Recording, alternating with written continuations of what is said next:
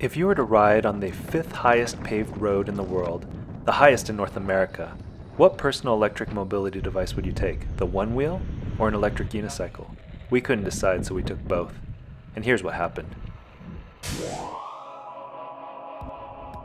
We took a trip to the highest road in America, to the top of Mount Evans, 14,260 feet, so we could spend time with a family who were visiting from sea level.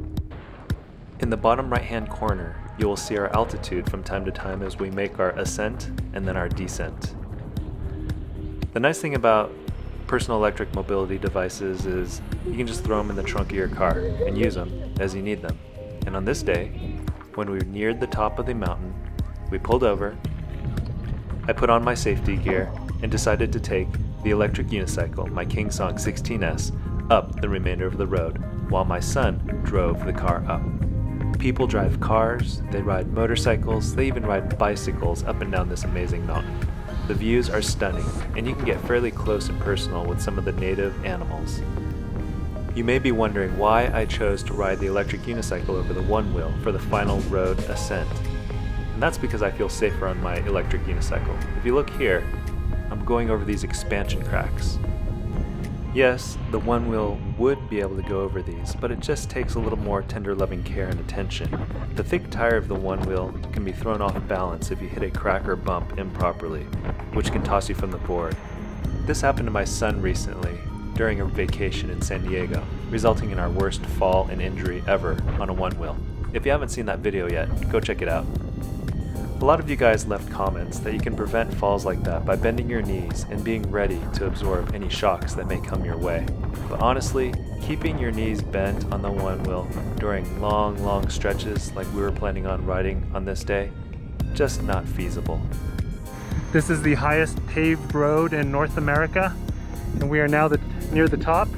I'm here on my King Song 16S electric unicycle and I had my Onewheel. I was gonna give my Onewheel a try too, but wasn't sure about going up and down these steep hills. And there's some of these, there's some cracks. This is possibly the first time an electric unicycle has gone up this 14er, 14, over 14,000 feet, Mount Evans. Hey, what's up guys? You got some uh, wool? No! Cold! What do they want to do? Uh, go to the top. Yeah, let's go to the top. It's too cold. Can you carry We didn't drive all this way not to make it to the top. Come on, We're already 14,000 feet up. let's finish it up. It's too cold. You can wear my jacket. When you finally reach the parking lot at the top, you're going to find this sign about altitude sickness. The higher you go up, the thinner the air is. And because of that, people can be at risk for altitude sickness at elevations greater than 8,000 feet. Denver is called the Mile High City, and it's at 5,280 feet.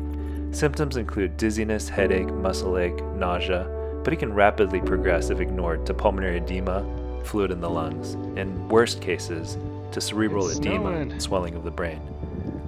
From the parking lot that you see down there, you can take a short little hike to reach the very top of Mount Evans. On this summer day in July, you can see it started snowing while we were up there.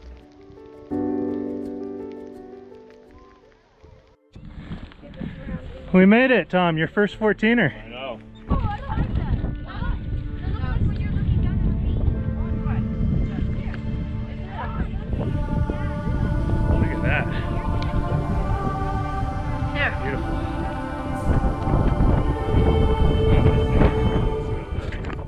Ever spent much time in the mountains of Colorado, then you may know of a thing called the 14er. A 14er represents any of the 53 peaks in Colorado with an elevation over 14,000 feet. And there are a lot of people who like to climb them. So here we are at the top of Mount Evans, 14,200 something feet. Snowing, it's cold, dark clouds.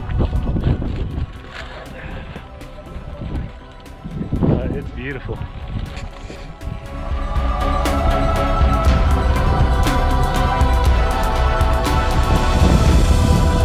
want you to hold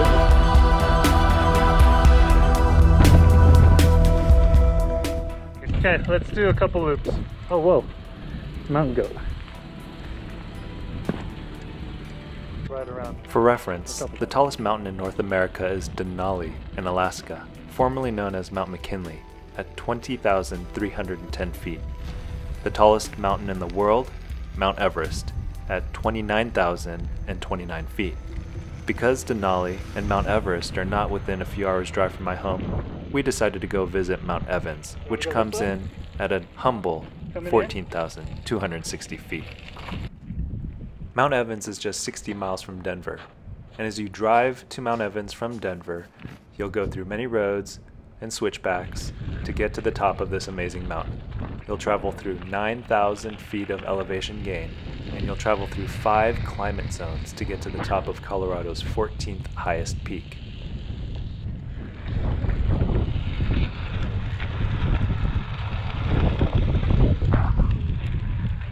Riding down from the top of Mount Evans on the Onewheel, we encountered a problem. The biggest problem with the Onewheel was actually our fault. We started the day with a full battery. If you don't know, the Onewheel charges its battery when going downhill using something called regenerative braking. Much like electric cars such as Teslas, and even on my electric unicycle and my electric skateboard, the Onewheel has regenerative braking. It's a way to charge the battery when you're braking so that you can travel farther and have more fun. The Onewheel has a battery protection mechanism to prevent overcharging. Problem is, this protection mechanism is kind of flawed. Because once the battery reaches full capacity, the board, in order to protect the battery from overcharging, will shut down. And what shuts down you nosedive. So the fear of regenerative braking and overcharging the battery, Nice. which could lead to board shutting off and nosediving and falling off a 14,000 foot mountain, kept us from going very far on the Onewheel. We tried to ride up and down the mountain to drain the battery, but as soon as we'd ride it back down, the battery would charge up again, and we'd have to go back up. My son gave up. He rode back to the car, and he decided he would see if he'd be able to catch me driving down the mountain in the car as I descended on my electric unicycle. Lesson learned next time we try this, we'll start with a low battery on the Onewheel, and we'll see how far we can go before the battery is charged to full capacity.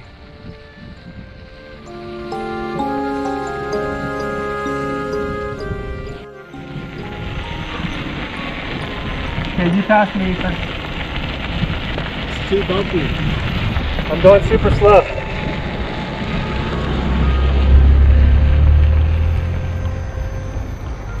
Yeah, get that nice shot. Close to the snow.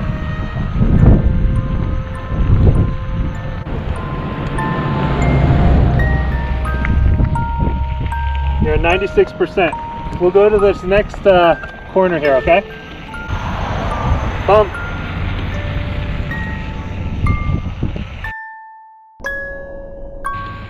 Riding on narrow roads at around 14,000 feet with bighorn sheep, mountain goats, automobiles, cyclists, motorcyclists, it has its inherent dangers. Add to that the potential poor road conditions. When it comes to deciding between the electric unicycle and the Onewheel, if I'm going to ride a one wheeled device, I like the bigger diameter wheel of the electric unicycle. It has increased power and overall stability and speed that gets me through these windy roads.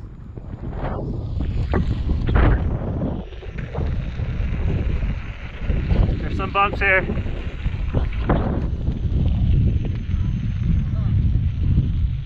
You alright? The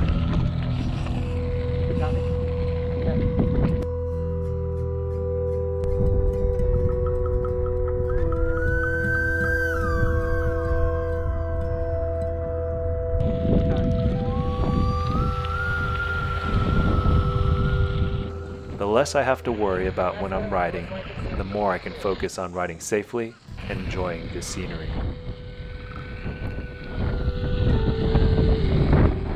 The audible alerts that the electric unicycle has to let me know if I'm riding at a dangerous speed or if I have a dangerous battery level that gives me an added peace of mind. On the Onewheel, I have to have my phone connected, and sometimes I can't hear the audible alerts through my phone.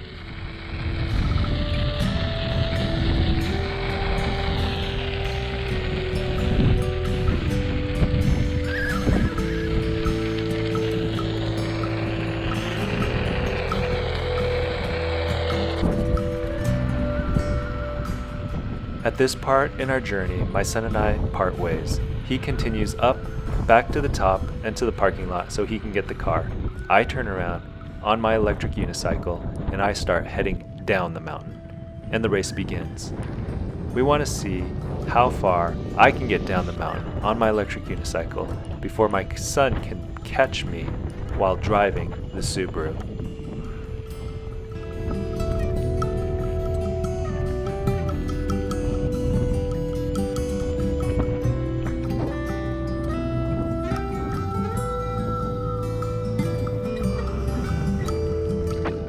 At this point, I'm just under 14,000 feet in elevation.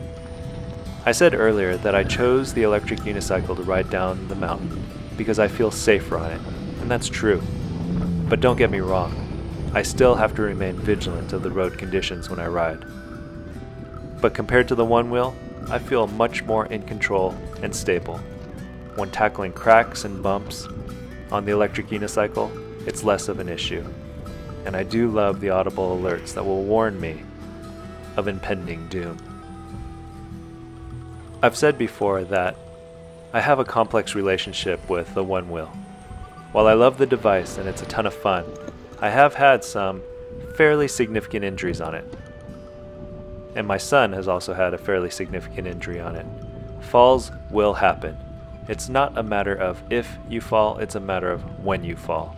It's just the inherent design of the board, the way that you can leverage the board and overpower the motor results in falls. It's just physics.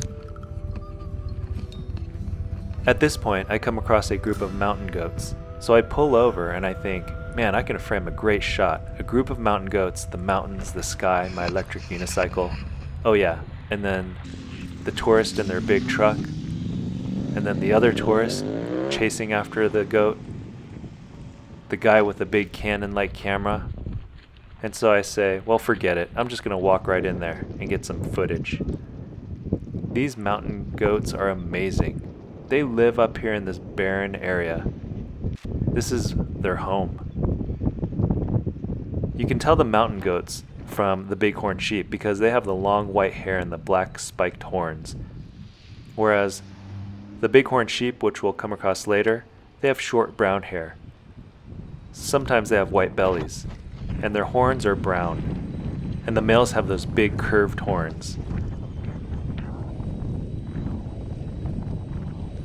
With my son driving down the mountain trying to catch me as I descend on my electric unicycle, my focus was not speed but caution. I've sped up this footage, however, just so that this video isn't too long and too boring. I took my time and I averaged anywhere from 12 to 16 miles per hour during the descent. The only time I felt the urge to really go fast was when I had a challenger, this guy here.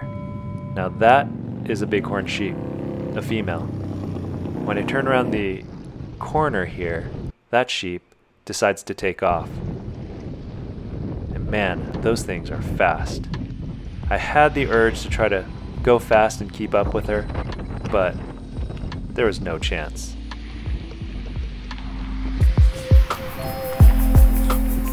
For anyone that's watched my videos or been subscribed to my channel, you'll know I'm a big fan of the Onewheel. What you probably don't know though is that I'm also a big fan of my electric unicycle. What is it like to ride an electric unicycle? If you've never been on one, the best way I could describe it is once you're proficient, once you feel comfortable on an electric unicycle, then it really does feel like being on a roller coaster. I think people love to ride roller coasters because of the speed. And to add to the thrill of the ride, oftentimes they'll lift their arms in the air and wave to get that free feeling as they race through the ride.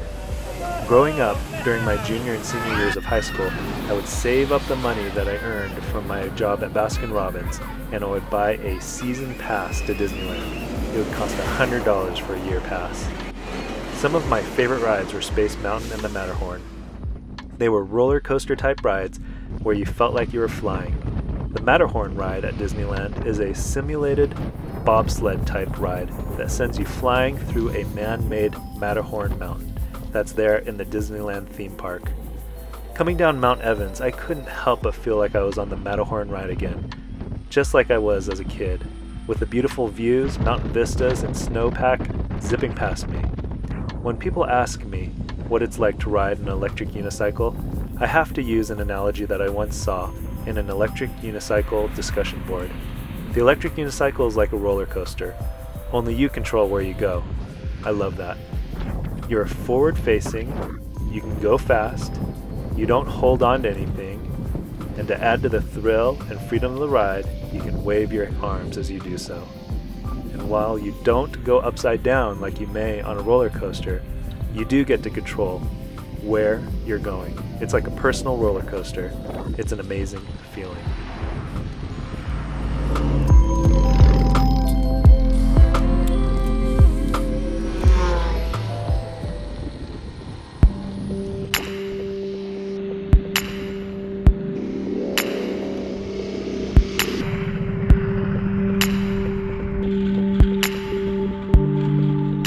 I hope you enjoyed this ride with me. I know this video has been longer than most of my other videos, but I just couldn't cut out any more footage than I already did. There was just too much cool stuff. The scenery, zipping past the ice and the rocks on the side, looking at the clouds and the rain. It was just a fun, fun ride, and I wanted to share that with you guys.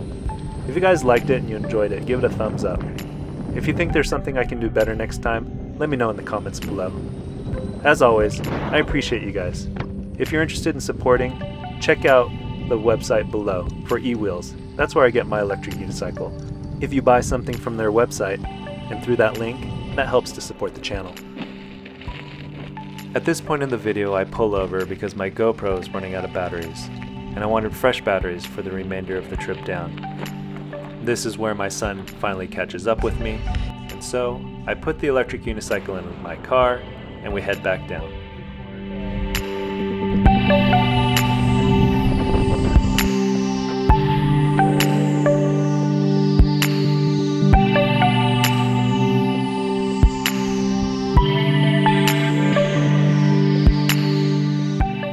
How you doing, Tessa?